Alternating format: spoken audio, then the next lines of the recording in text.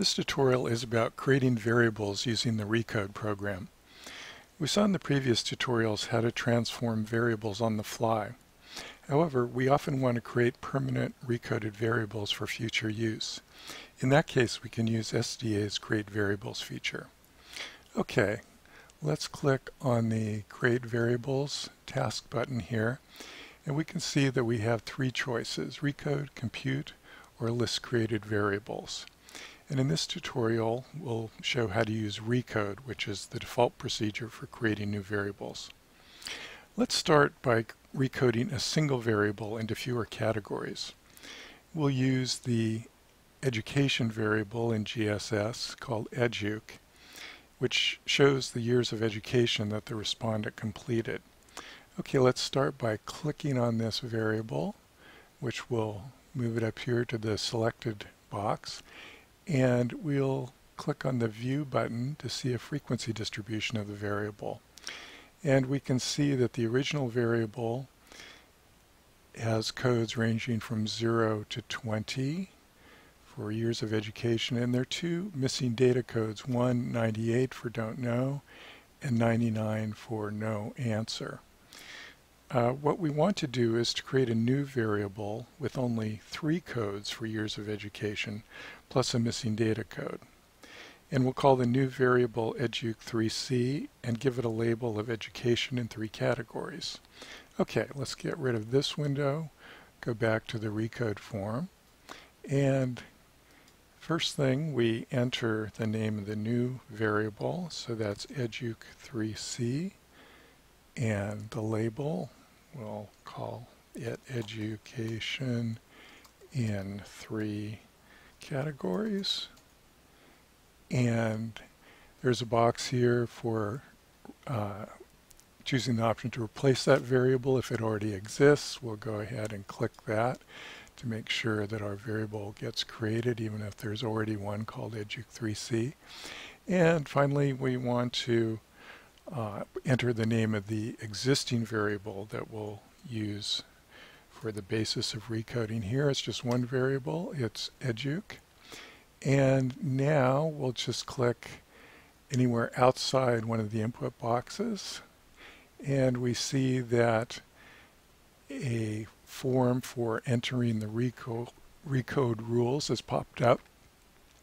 So we'll have three categories we want to enter. The first one have a value of 1. The label will be high school or less and that will have the original categories 0 through 12 and we'll have the second category be some college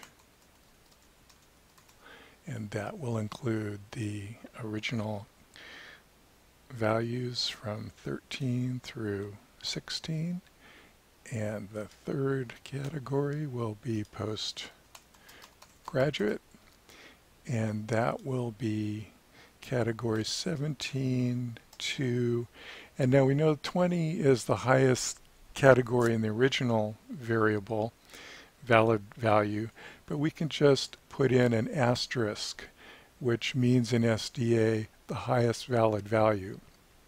That means we don't really have to remember or know what that value is. Um, we just put in an asterisk.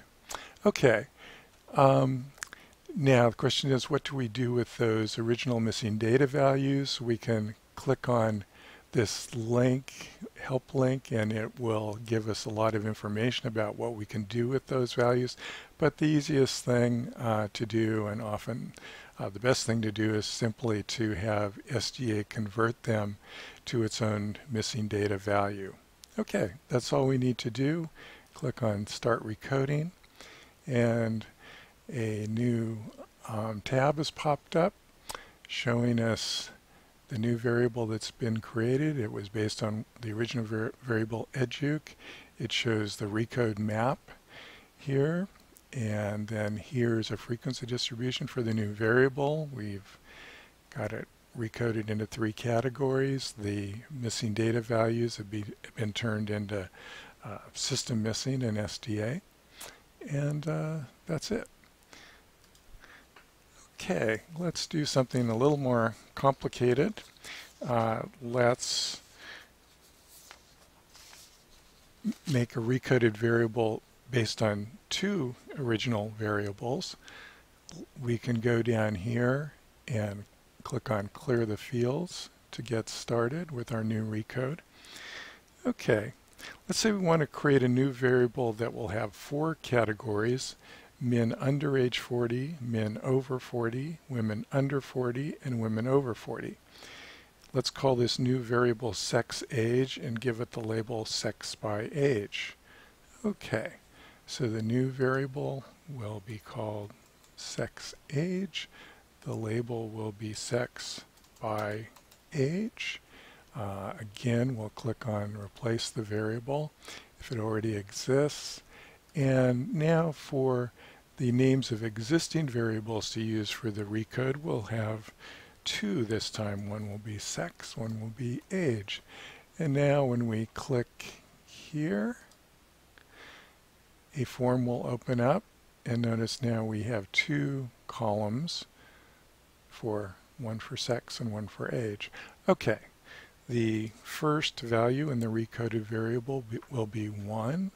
For a label, these will be males less than 40 and the values of the original variables that we'll put into this first category for sex it will be 1 the sex variable is just coded 1 for male 2 for females.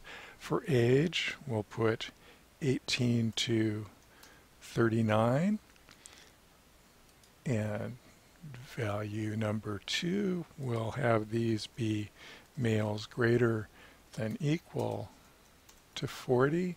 Sex again will be 1 for males. The age this time will be 42. We'll again use the asterisk for the highest valid value. And number 3 will be female, less than 40. Here for sex, the code will be 2, since 2 is females in the sex variable and age 18 to 39 and 4 will be female greater than equal to 40 again sex will be 2 and age will be 40 and above. Okay that's all we have to do we'll stick with converting the original missing data codes to SDA's missing data code and we'll click on start recoding. Okay, and we can see now the uh, description of the new variable. It's called sex age. The input variables that created it are sex and age. We can see the recode map that we just filled in and here's a frequency distribution for the new variable. New variable has four values and has 202 missing data codes we can see. Okay, that's how we recode a new variable. Uh, in other tutorials, we'll be covering the creation of new variables using the compute program and using the list of created variables.